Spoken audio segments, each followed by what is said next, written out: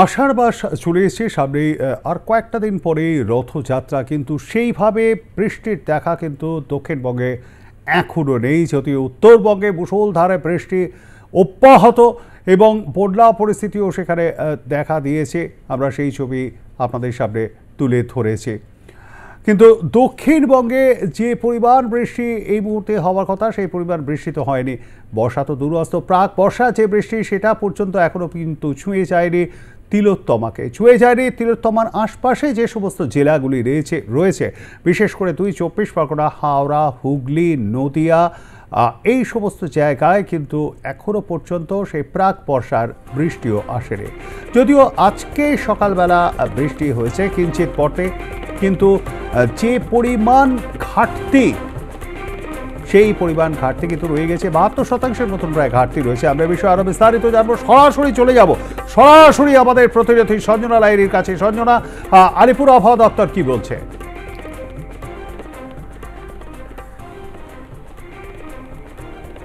আলিপুর আবহাওয়া সূত্রে যেরকম জানা যাচ্ছে যে তাদের যেরকম পূর্বাভাস ছিল যে শুক্রবার থেকে দক্ষিণবঙ্গে বৃষ্টি কিন্তু শুরু হবে এবং সেই মতোই দেখা যাচ্ছে যে শুক্রবার অর্থাৎ আজ সকাল থেকেই মেঘলা আকাশ এবং দফায় দফায় বিক্ষিপ্ত আকারে বৃষ্টি হচ্ছে শহর কলকাতায়। শুধু কলকাতা নয়, কলকাতা এবং আশেপাশের যে সমস্ত জেলা রয়েছে, প্রত্যেকটা জেলাতে এমনকি দক্ষিণবঙ্গের যে পশ্চিমের জেলাগুলো রয়েছে, সেখানেও কিন্তু বিক্ষিপ্ত আকারে হালকা থেকে মাঝারি বৃষ্টির সম্ভাবনা রয়েছে। আগামী কাল থেকে এই বৃষ্টির পরিমাণটা কিন্তু অনেকটাই বাড়বে। কার্যত এই সমস্ত খরাপ্রবণ যে জেলাগুলো, যেটা তোমাকে কিছুক্ষণ আগে বলছিলাম, পশ্চিমের জেলাগুলো, সেখানেও কিন্তু ভারী থেকে অতি ভারী বৃষ্টির সম্ভাবনা থাকছে এবং আগামী বাহাত্তর ঘন্টায় দক্ষিণবঙ্গে দক্ষিণ পশ্চিম মৌসুমী বায়ু প্রবেশ করতে পারে, যেটা বেশ কিছু দিন ধরে দেখা গিয়েছে যে ইসলামপুরের কাছে কিন্তু এই দক্ষিণ পশ্চিম মৌসুমী বায়ু একদম আটকে রয়েছে, স্তব্ধ হয়ে রয়েছে। আর কিন্তু দক্ষিণবঙ্গে বর্ষার অনুকূল পরিস্থিতি সৃষ্টি হয়নি, যার কারণে দক্ষিণ পশ্চিম মৌসুমী বায়ু দক্ষিণবঙ্গে অগ্রসর হবে।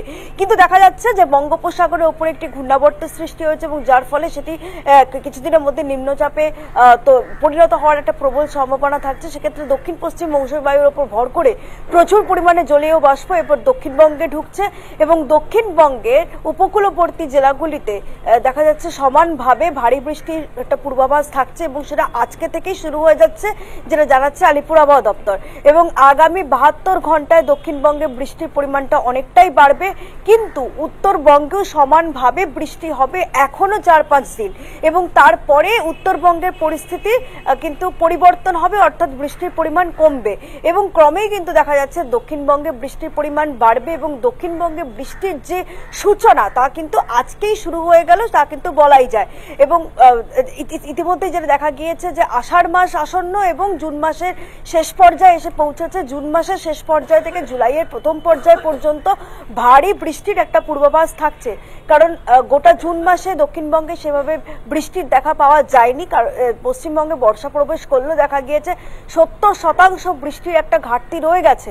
তো সেক্ষেত্রে আগামী দিনে দক্ষিণবঙ্গে এই যে ভারী বৃষ্টি হবে বা একটা যে পূর্বাভাস রয়েছে, তার ফলে এই যে ঘাটতিটা সেটা কতটা পূরণ হয় সেটা কিন্তু এখন দেখার। কারণ প্রতি বছরই কিন্তু দেখতে পাওয়া যায় যে দুর্গাপুজোর আগে আগে যেরকম ভাবে ভারী বৃষ্টি হয়, কখনো একশো মিলিমিটার, কখনো দেড়শো মিলিমিটারের কাছাকাছি, তাতে কিন্তু এই যে প্রথম পর্যায়ের যে ঘাটতি, সেটা কিন্তু অনেকটাই পূরণ হয়ে যায়।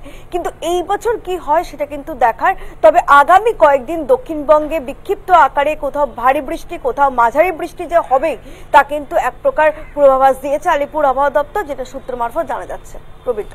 ধন্যবাদ আমাদের সঙ্গে থাকবার জন্য। সঞ্জনা কথা বলছিলাম আমাদের প্রতিনিধি সঞ্জনা লাহিরির সঙ্গে। তা থেকে আপনারা বিস্তারিত শুনলেন। বর্ষা প্রবেশ করে গিয়েছে। ধীরে ধীরে এই বর্ষা তেজ আরও বাড়বে, অর্থাৎ আরও বেশি সক্রিয় হবে দক্ষিণ পশ্চিম মৌসুমি বায়ু। পক্ষান্তরে উত্তরের জেলাগুলি কিন্তু, পাঁচটি জেলায় কিন্তু এখনও পর্যন্ত বৃষ্টি হবে এবং আরও বেশি এই বৃষ্টিটা হবে আগামী কয়েকদিন। অপরদিকে দক্ষিণবঙ্গের বিভিন্ন জেলাগুলিতে কিন্তু বৃষ্টি ফের আজকেই যে হয়ে থেমে যাবে তেমনটা নয়। প্রাক বর্ষার বৃষ্টি যদিও সেভাবে আসেনি, তবে বর্ষা কিন্তু সরাসরি প্রবেশ করে গিয়েছে।